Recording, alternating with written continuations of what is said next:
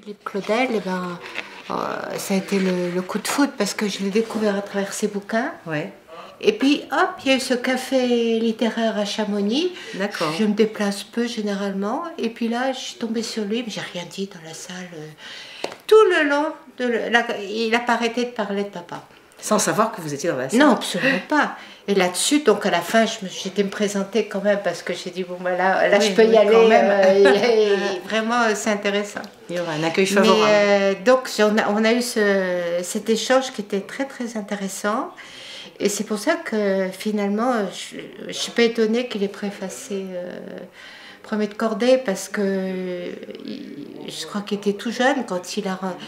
Je ne sais pas s'il l'a rencontré ou pas, mon père. Je crois Ah, je pas crois parce qu'il n'a pas osé. relu, non Il l'a lu, Oui, ça, il l'a lu. lu. Mais son regret, c'est de, il a jamais osé l'aborder en fait. Il était jeune à l'époque. Et euh, c'était un peu une aura autour de papa, tout ça, et, alors qu'il était très abordable. Mais Oui, il- n'a jamais osé faire le pas pour aller le voir. Voilà, voilà. C'est le livre C'est- initiatique il- parce que c'est Il à nous travers dit merci, là. Il a découvert la montagne dans, dans Oui. Premier de Cordée. Oui, oui, Il tout a à adoré la montagne et il l'a lu et relu. Oui, parce qu'il est venu souvent à qu'il Chamonix, il, il ouais, adore ouais. ça. Et, et puis moi, ce que j'ai bien aimé dans sa préface, c'est que euh, il a tellement rendu l'écriture de mon père, parce que généralement, comme il a eu du succès très vite avec Premier de Cordée, c'est devenu un best-seller.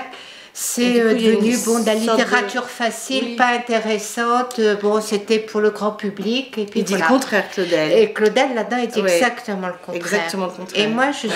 je suis contente qu'il dise ça parce que quand on, relit, quand on relit plein de livres qui- qu'il a fait, enfin que mon père a fait, Ouais, ouais. euh, il y a vraiment des, des passages extraordinaires Qui sont très bien écrits. qui sont d'une délicatesse, Qui qui, sont sont, beaux. C'est oui, c'est oui, vraiment oui, très très beau.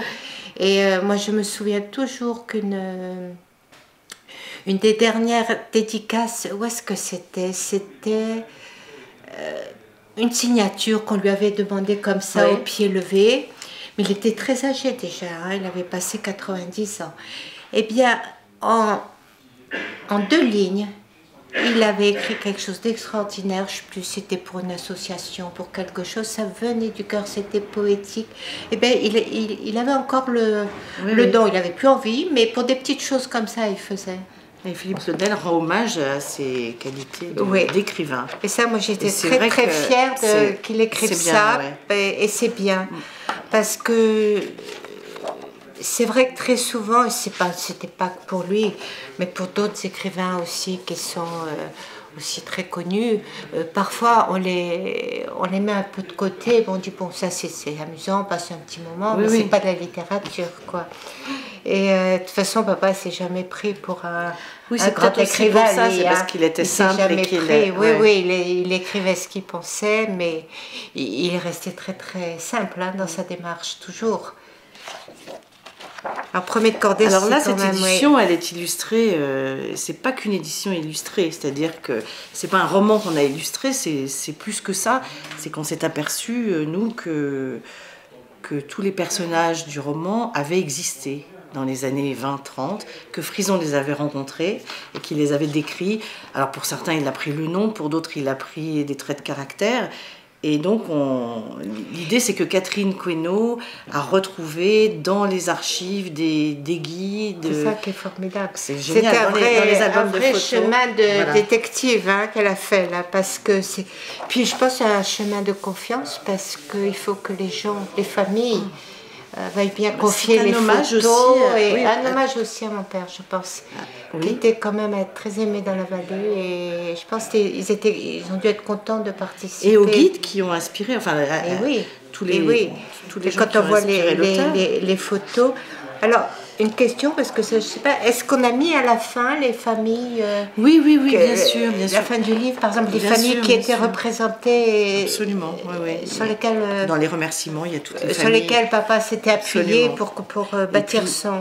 Et puis les gens vont retrouver, si vous voulez. Les gens, en fait, Catherine disait que les gens, euh, les guides d'ici savent que leur ancêtre, leur grand-père Eh ou leur oui, grand-oncle oui, oui, était l'ami de Frison et est présent dans le livre. Alors, euh, mais, mais le, le public ne le savait pas. Et puis, si vous voulez, quand on le, on le lit comme ça, on a Alors quand l'impression. on revoit là, par exemple, les combats de vaches, bon, bah, c'est- c'était un grand morceau de premier de cordée. Ouais. Et j'y pensais l'autre jour quand ils ont fait les combats de vaches à, de Rennes, à Argentière. Et bon, ça, ça s'est beaucoup changé, mais, mais quand même l'esprit reste. On voit que c'est quand même tous les, Oui. les gens du pays, et ils ont, ils ont leurs vaches, ils les aiment, et leurs reines, ils les chouchoutent. et c'est un petit peu comme ça avec... euh, Ah bah oui, tout y est, là. hein. moi, quand j'étais Comme petite, les combats de vaches, j'étais là, à Balme. On mourait de frousse quand elle, euh, Ouais, elles débordait sur nous. Alors, ça, c'est Ah voilà, la, belle... euh, Ouais. Oui, on a scanné toutes les... Et, alors, les, les Toutes les traductions, là. Elles sont là, c'est-à-dire dans les remerciements, il y a toutes les, voyez, il y a toutes les familles qui ont donné oui, des donc photos. oui, toutes les familles de la vallée. Charlet, Et c'est vrai que Tournier. c'était c'était formidable. hein. voilà. Et puis des, des très belles photos quand même, qui ont jamais, qui sont inédites hein, pour Oui. certaines, pour beaucoup, puisque Catherine les a retrouvées dans des, dans des albums. Elle ouais. est magnifique, celle-ci sur Verte, magnifique. là, Elle, ça, elle fait la couverture. ouais. Ah ouais, elle, elle est, elle est extraordinaire là. Et moi, ce qui m'amuse pour les gens qui lisent, parce que c'est un roman quand même, Ben oui. c'est comme si on disait euh, on, on va vous montrer Robin Crusoe et son île. Parce que là, on a, on a les lieux de l'action qui sont. Catherine n'a mis que des photos de l'époque Oui, 1910, oui, absolument. 1920. Même dans l'action, elle a. Vous voyez, pour que les gens soient habillés. oui. oui, oui. Et, et les lieux et les personnes qui ont inspiré l'auteur. Donc, euh, pour un roman, c'est assez, c'est assez original. Moi, je crois qu'il y a qu'elle qui pouvait que- faire ça au niveau illustration parce que euh, elle connaît années de- tellement. Ça ouais. fait des années qu'elle travaille sur les documents euh, Frison-Roche, je dirais. Ouais. Qu'elle s'est investie là-dedans complètement et que elle sait ça encore mieux que nous. hein. Moi, il y a des tas de questions qu'on me pose. Parfois, je ne sais pas. euh, Celle-ci, elle est magnifique. Cette Elle est photo très belle cette avec, photo. le- ouais. Ouais, ouais. avec les reines là au pâturage. Alors pour les personnages, euh, bah, Ah, c'est oui. des gens que vous devez connaître. hein. Le vieux baguette. euh, Et oui, bien sûr. Et puis même les gens vont retrouver, par exemple, Chara, l'alpage de Charamillon, ils vont voir, euh, ça existe encore, euh, le viaduc de Montroc, le, le Planet, bien sûr, on y, on- on y est toujours au, au Planet. Euh, la maison de Charamillon. Je pense que ça va être très agréable de lire, premier, enfin de découvrir ouais, je crois- Premier de Cordée je vais, avec je vais les- le, je vais le avec les relire avec les photos les parce lieux, que oui. c'est et je pense que moi j'ai des petits enfants je pense que les plus jeunes euh, auront un plaisir à le lire euh, double avec les, les documents. Ah, il y a des photos de Chamonix documents. sont Ça c'est magnifique. Ouais. J'arrive pas à me rappeler si le si le bureau était déjà là quand j'étais petite. Je me souviens plus. Le bureau des guides. Ouais. Je crois pas. Je crois qu'il était déjà. Il est à côté de la mairie là. hein, Oui, là, juste à côté de la, sa pharmacie Ouais, Pio ouais. là. D'accord. Euh, mais bon, là, il y a la mairie, il y a le... on reconnaît bien. On reconnaît bien, là. C'est que l'histoire, elle, elle est très actuelle. hein. Elle elle n'a Bah, pas ça- vieilli. Rien n'a changé Elle n'a pas vieilli. ça D'ailleurs, c'est existe ce que toujours. Disait. Ça existe toujours les clientes qui, qui tombent amoureuses de leur guide, euh, qui viennent habiter Chamonix parce qu'elles ne peuvent plus repartir. Bon, des- ça existe toujours, Des ça. choses hein. universelles, ça. ouais. Et, et les problèmes parfois que ça, ça- que ça apporte parce que c'est pas toujours la même culture, la même. Euh, euh, on va pas en montagne tous les jours, hein, quand on son mari est guide, c'est pas du tout Oui, ça. oui, bien sûr. Et c'est pour ça que je trouve qu'en fait, Premier de Cordée, c'est un livre qui est un petit peu. Universel. euh, oui, Ouais. oui, parce que c'est une, une histoire qui se répète ouais, euh, vraiment. Hein. Alors la sortie de Premier de Cordée même, j'étais trop petite pour, euh, pour me rendre compte. Mais disons, dès que j'ai eu euh, 8 ans, donc, puisque nous habitions l'Algérie, Alger, donc j'étais à l'école. Et, c'est un livre euh, qui a eu beaucoup de succès euh, à Alger, donc c'était l'Algérie française. Et mon père était, devenu célèbre à Alger, c'était devenu une personnalité. Il était journaliste, mais alors ce roman avait soufflé un peu tout le monde. Et moi, je me souviens qu'en tant que petite fille, euh, j'étais étiquetée comme fille de Roger Frison-Roche. Ça m'a ça m'a suivi très longtemps, mais ça m'a jamais gênée du tout. Parce qu'on me disait souvent, est-ce que, est -ce que ça t'a empêché? Est-ce que ça t'a gêné? Est-ce que euh, cette célébrité? Fière plutôt. Plutôt fière. Pour moi, j'ai toujours été fière et je pense pour une raison très simple, c'est que j'étais la dernière de la famille. Euh, j'ai vécu beaucoup avec mon père, beaucoup de choses.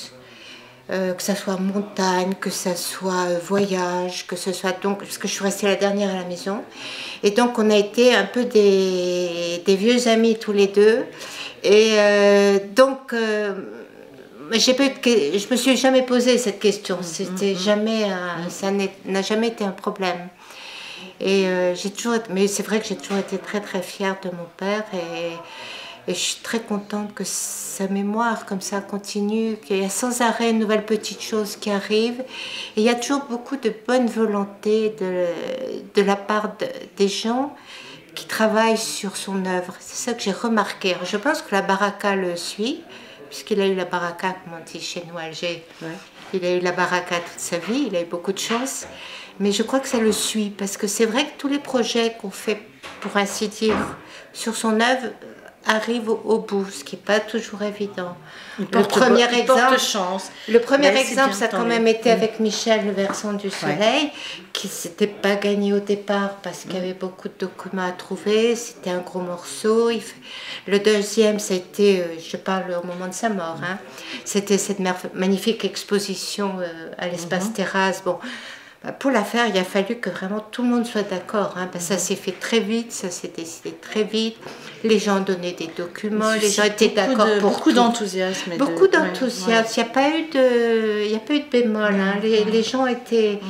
Et chaque fois, je retrouve un petit peu ce, euh, la même chose pour les projets qu'on apporte, les nouveaux projets. Le même engagement, ouais, pour le, pour le faire. Et donc, euh, on n'hésite pas finalement à essayer des nouvelles choses, puis puis principe, ça marche.